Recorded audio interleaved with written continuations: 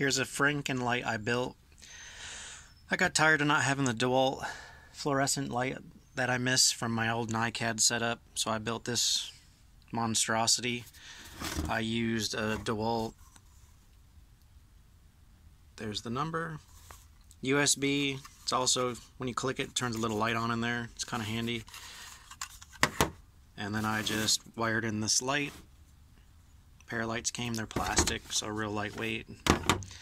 And what I did with this one is just took it apart. There's a screw, and then on the inside of the battery, underneath that sticker, there's a clip, which of course I messed up and it broke. But basically just a proof of concept. I JB weld a switch on the side and the wires to the light. I basically did this because I still wanted a USB function on this one for like my phone. And you can see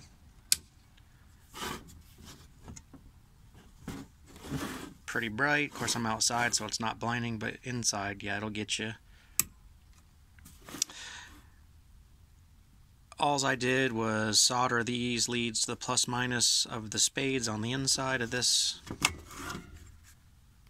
connector there. Then just added the switch, like I said, and did it to this. The reason, again, I wanted the USB. If I make another one, what I'll do is take the board out and put the switch on the inside. Uh, yeah, I know there's 3D printed ones, and there's even a guy that sells really, really nice uh, molded, or I don't know how he makes them, but they're really smooth and doesn't look like piled up silly string like 3D printed crap. But with the board, it gives you more room, so you can put the switch inside. These are like 9.98 or something like that a piece on eBay. I'll link that name in case you don't want to type it. And again, just for the room is nice to put the switch and the wires and all that crap inside. Like I said, this was just kind of sort of proof of concept, just slap it together real quick just to see if it worked. And yeah, it does. So add a different head or whatever you want, but yeah, super easy. Drill some holes for your bolts.